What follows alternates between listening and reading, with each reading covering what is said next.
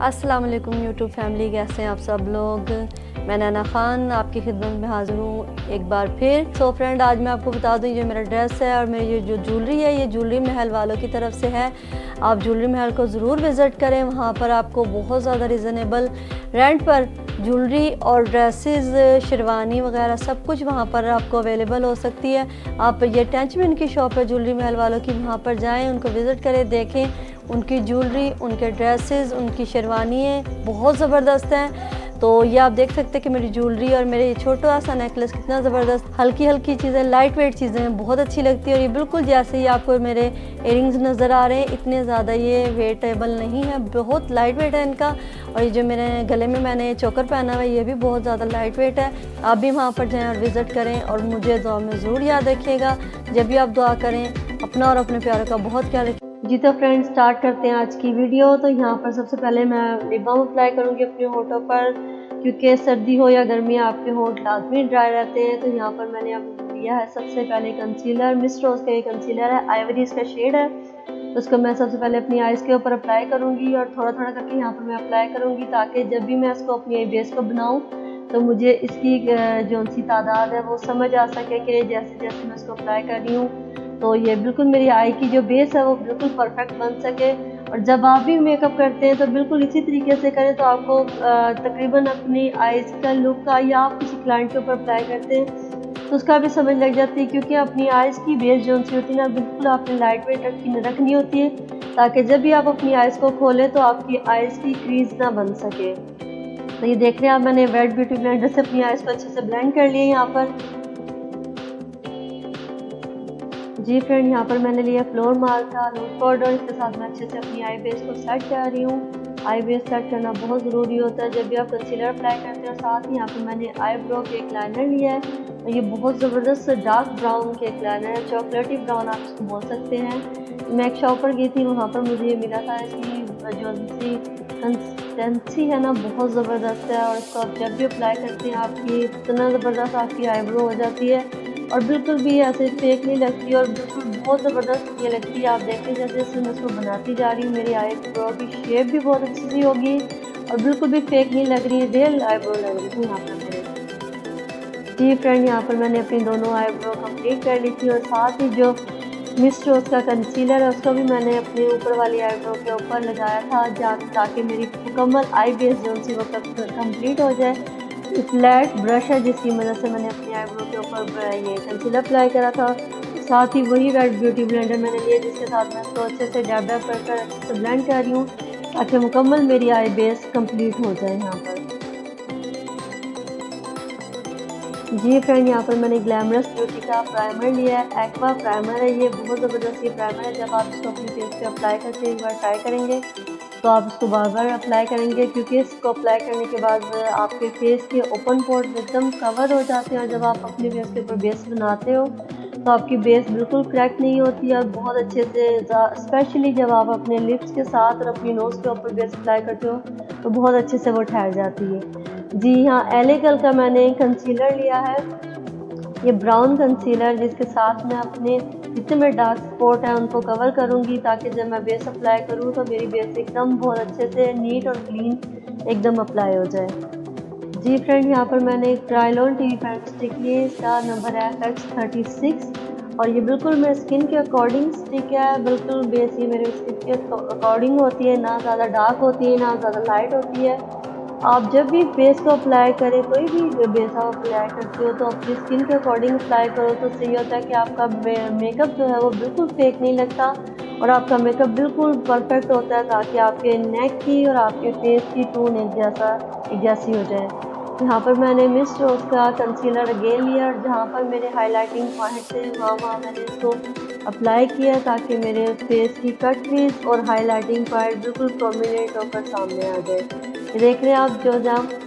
मैं अक्सर अपनी वीडियोस में बताती होती हूँ कि जहाँ जहाँ हाईलाइटिंग पॉइंट है, या कंट्रोल पॉइंट है, या कट क्रीज पॉइंट है, वहाँ वहाँ अपने बेस को या कंट्रोल को कैसे कैसे अप्लाई करना है। साथ ही रेड ब्यूटी ब्लेंडर के साथ मैंने इसको अच्छे से ब्लेंड कर लिया ताकि मेरे फेस की कट क्रीज बहुत ज़्यादा अच्छे से प्रोमिनेंट हो जाए।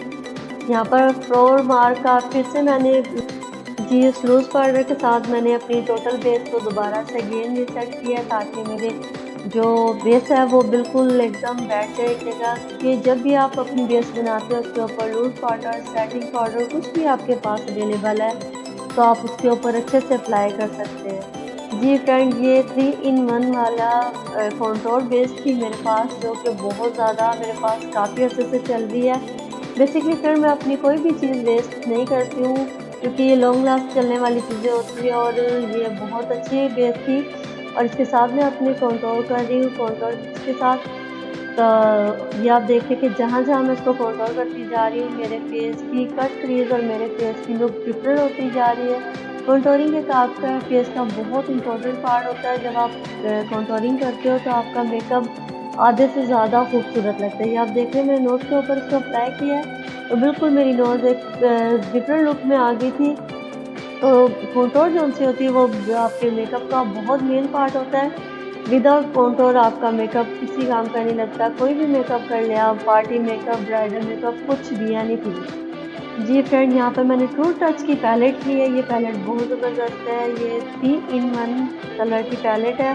और मैं हमेशा इसके साथ ज़्यादातर मेरी वीडियोस में ब्लश और मैटी के साथ करती हूँ, क्योंकि इसके ब्लश मैट ब्लश और मुझे बहुत पसंद है।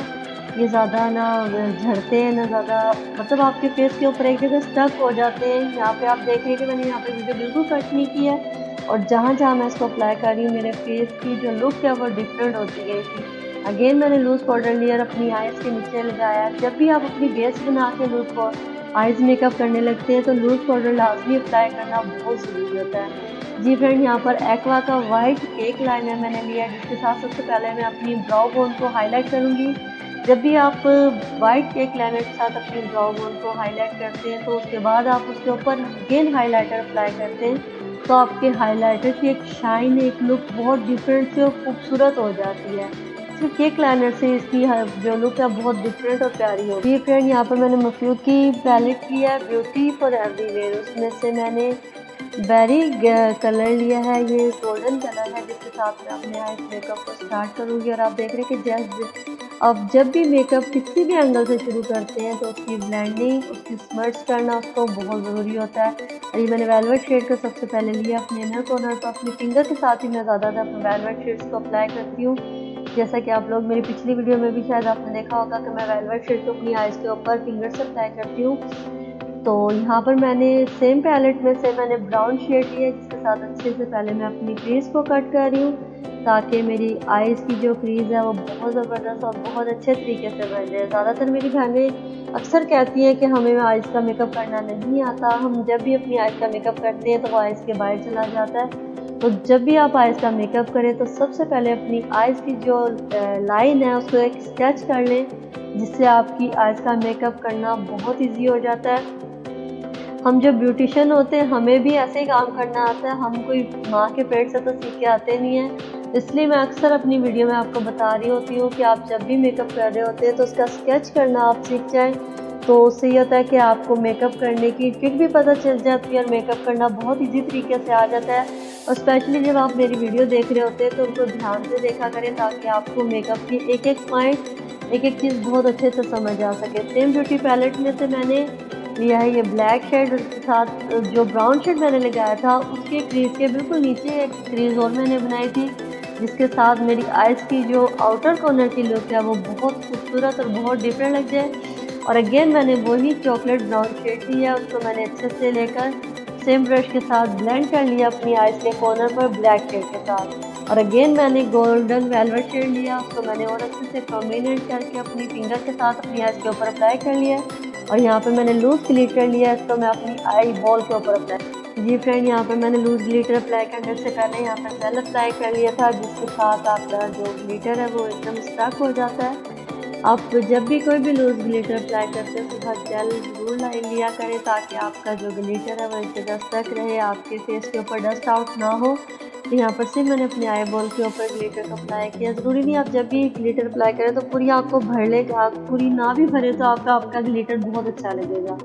जी फ्रेंड यहाँ पर मैंने एक्वा का केक लाइनर लिया है और आज जो लाइनर मैं अप्लाई कर रही हूँ, इतना ज़्यादा विंग लाइनर नहीं मैं अप्लाई कर रही क्योंकि मेरी आइज़ का जो आउट कॉर्नर है वो ब्लैक शेड के साथ बहुत ज़बरदस्त बना हुआ था, इसलिए मैंने यहाँ पर आज लाइनर को छोटी विंग दी थी।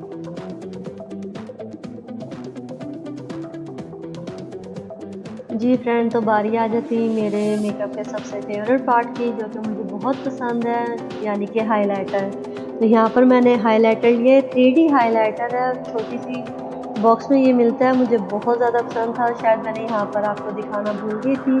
तो नेक्स्ट वीडियो में इंशाल्लाह मैं आपको ये हाइलाइटर ज़रूर दिखाऊँगी। तो जब भी आप हाइलाइटर अप्लाई करते हो चीक्स पर नोज़ पर आई ब्राउ बोन पर अपनी पर तो ब्रश को वेट कर लिया करें ताकि आपका हाइलाइटर बहुत अच्छे से प्रोमिनेट होता है। आप जब भी अप्लाई करते हो हाइलाइटर को तो बहुत अच्छे से प्रोमिनेट हो जाता है। तो जी फ्रेंड यहाँ पर मैंने सेम ब्यूटी पार्लर में से ब्राउन शेड लिया और बहुत लाइट ब्राउन शेड लिया, जो कि मैंने अपनी आइज़ के नीचे अप्लाई किया। आज मैं अपनी आइज़ के नीचे ज़्यादा डार्क शेड नहीं अप्लाई करती, क्योंकि मेरी आइज़ आइज़ का मेकअप लुक जो है ना, वो बहुत ज़्यादा खूबसूरत और सॉफ्ट मैंने रखा था, इसलिए मेरी आइज़ के नीचे का जो मेकअप है ना लोअर लैशेस का जो मेकअप है, वो भी बहुत ज़्यादा सॉफ्ट मैंने रखा था। इसलिए बिल्कुल लाइट शेड यहाँ पर मैंने अप्लाई किया आज।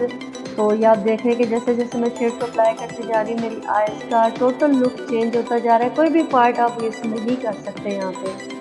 जी फ्रेंड, यहाँ पे बारी आ जाती है मेन पार्ट की, जो कि है लिपस्टिक लिपस्टिक के बगैर आपका मेकअप बिल्कुल किसी काम का नहीं लगता तो यहाँ पर मैं लिप पेंसिल अप्लाई कर रही हूँ। लिप पेंसिल वैसे अभी मेरी एक आदत सी है कि मैं जब भी लिपस्टिक अप्लाई करती हूँ तो लिप पेंसिल को अप्लाई करती हूँ तो यहाँ पर मैंने रेड लिपस्टिक ली है। इसको पहले मैंने रेड लगाया था उसके बाद फिर उसको मैंने ऑफ़ कैमरा चेंज कर दिया था, क्योंकि मैंने कह था कि आज आप लिपस्टिक अप्लाई लाइट कलर की करो। तो फिर साथ ही लाइट कलर की लिपस्टिक अप्लाई किया जो कि बिल्कुल अपना लिप्स के अंदर अप्लाई करती जैसे कि आजकल ट्रेंड है कि होट जो उनसे साइडों से होते हैं, वो डार्क होते हैं और मिक्स जो होते हैं। वो लाइट शेड होता है, वो बड़ा प्यारा सा शेड बन जाता है डार्क एंड लाइट लिप्स का। तो मैंने वो वाली लिप लिपस्टिक अप्लाई की थी तो ये देखते हैं आपके मेरे लिपस्टिक का कलर बहुत ज़्यादा खूबसूरत और डिफरेंट हो गया था दो तीन लिपस्टिक मिक्स कर कर। तो जो कलर मिक्सिंग होती है ना, वो भी बहुत ज़रूरी होती है आपके मेकअप में भी। और आप अगर कुछ भी ऐसा मेकअप वाला काम कर रहे हो तो आपकी कलर मिक्सिंग बहुत ज़्यादा मायने रखती है। जी फ्रेंड यहाँ पर है किस ब्यूटी का मेकअप फिक्सर जिसके साथ मैं अपने मेकअप को फिक्स कर रही हूँ। और आपका मेकअप फिक्सर बहुत ज़रूरी होता है जब आपने कहीं अपने मेकअप को लॉन्ग लास्टिंग रखना हो तो। सो so, आज की मेरी वीडियो आपको कैसी लगी मुझे कमेंट में ज़रूर बताइएगा। और फ्रेंड्स आज मैं आपको एक और बात बताती चलूँ कि मेरा स्नैक पर भी आईडी है फेसबुक पर इंस्टाग्राम ट्विटर पर भी मैं हूँ। आप मुझे वहाँ पर भी फॉलो करें विज़िट करें और फॉलो करें।